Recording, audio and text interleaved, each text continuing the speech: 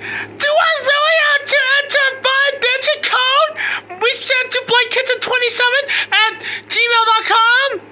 Oh well, I'll have it to go anyways. I'll try one, two, three, four, five.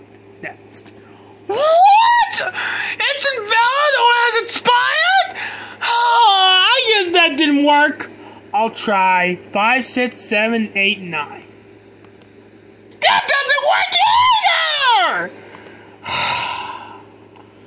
We're gonna try 2005 sets and hopefully it won't be right, wrong this time.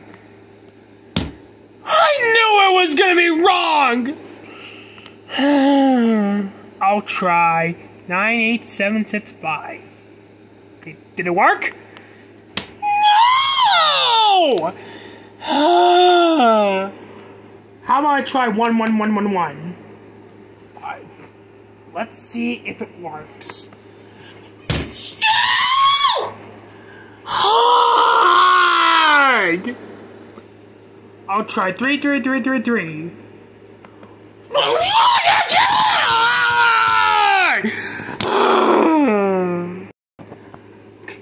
One more time. Give me one more final attempt. If I if I get the wrong code again, I'm done.